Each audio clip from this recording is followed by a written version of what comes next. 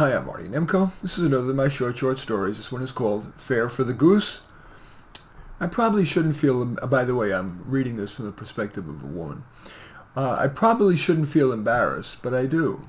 Let me explain what happened. I'm VP of HR at a nonprofit, but my husband has been able to land nothing better than gypsy professor, driving from campus to campus in ever-worsening traffic to teach just one course, usually Intro to Sociology.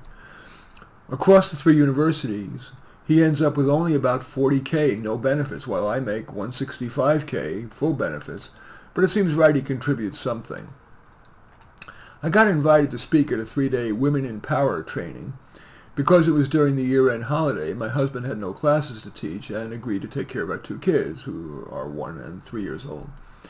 When I got back, he said he found being a stay-at-home dad surprisingly easy and fun. He said something like this said, yeah, there were things to do, from laundry to diaper changing, but I found those a lot easier than preparing for courses and dealing with overconfident students.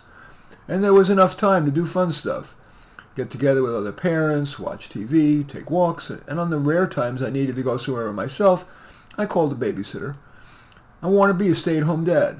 Teaching pays almost nothing after you subtract the commute costs and childcare.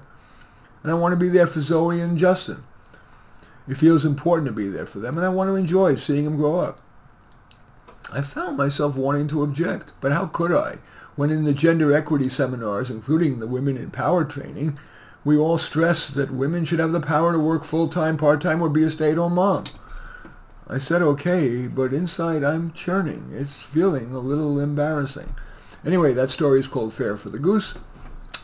As usual, I welcome your thumbs up and accept your thumbs down. I always look forward to your comments and especially like it if you hit the share button below.